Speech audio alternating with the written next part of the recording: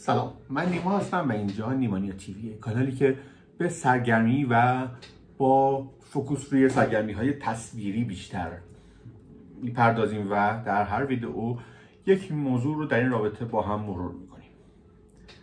اظهار نظر جنجالی بهروز افخمی چیز عجیبی نیست که از این آدم سر بزنه. قبلا هم افتخارش این بود که مثلا در انتخابات ششم مجلس ششم که نماینده مجلس شد یک ریال هم پول تبلیغات نداده بود و از طریق لیست جبهه مشارکت و لیست روزنامه نگاران بالا آمد. یا مثلا اظهار نظرهایی که از قول فرزندش به عنوان نماینده تهران خودش صحبت کرده تو مجلس و اینکه فرزندش میگه اوکی دوره نمایندگی تموم میشه بریم آمریکا.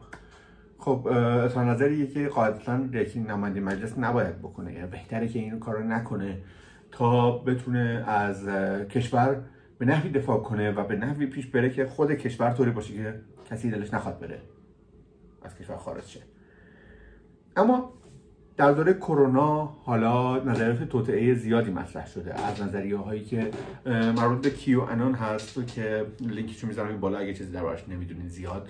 می‌تونین این گروه مرموز رو که این روزها درباره این موضوعات فعالا بشناسین تا نظریه هایی که درباره نقش بیل گیتس مدیر عامل مایکروسافت درباره کم شدن جمعیت زمین مطرح میشه و به نوعی نظریات توطعه به شمار میره. حالا به روز افخمی توی دستواره مصاحبه کرده و توی اون برخلاف تصور همه ماها انتقاداتی رو به دولت مطرح کرده و به مسئولان از زاویه آدمی که مخالف محدودیت کروناییه اون گفته که من نتونستم و وقت نداشتم هیچ فیلم رو ببینم تا الان. اما برنامه های خودم تو جشنوارهشون آموزشیه میام و ادامه میدم. اما گفته نفس برگزاری جشنواره بد نبوده که تعطیل کردن کل سینمای ایران کار بسیار غلطی بود. تحمیل ماسک به مردم تعطیلی مدارس و فرستادن بچه ها و تبدیل کردنشون به زندانی در کار خانه, در خانه کار بسیار بسیار غلطی بوده.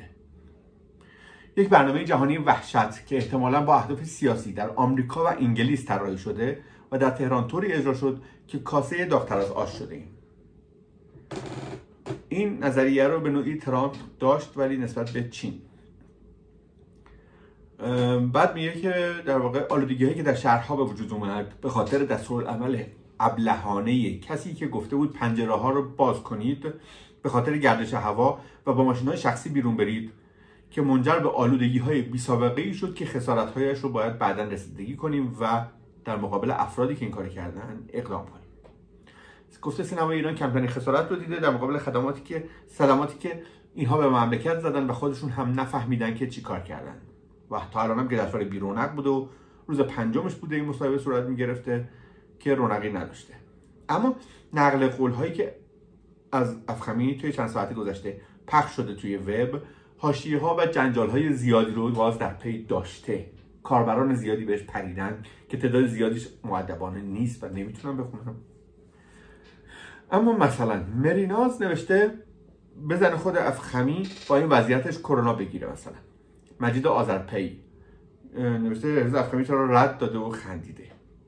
بابک قفوری آذر نوشته هرچه بیشتر صحبت می‌کند و ماهیت اصلیش رو نشان می‌دهد یاد ظلمی که بر شما رفت را زنده می‌کند. آقای ناصر تقوایی عزیز. داروش آرمان. نوشته این حرفایی که می‌زنم به نظرتون واقعیه؟ باور کنیم یا علی هانیبال توییتی کرده نوشته اونایی که میگن به عقاید یکدیگر احترام بذاریم به تفکرات بهروز افخمی هم احترام می‌ذارید. کسی اسم نیک مصطفی یا نیک سیرت گفته واقعا این حرفای بهروز افخمیه یا من اشتباه می‌کنم.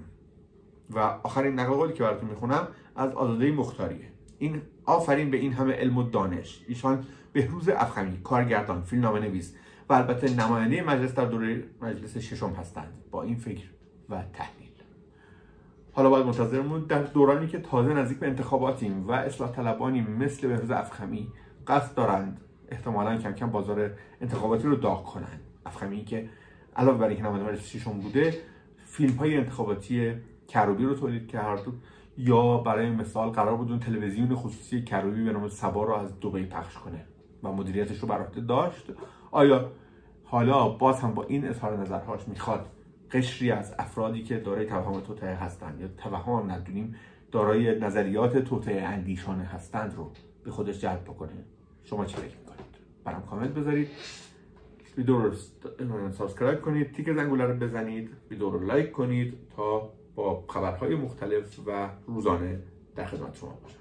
تا ویدئوی بعدی خدافظ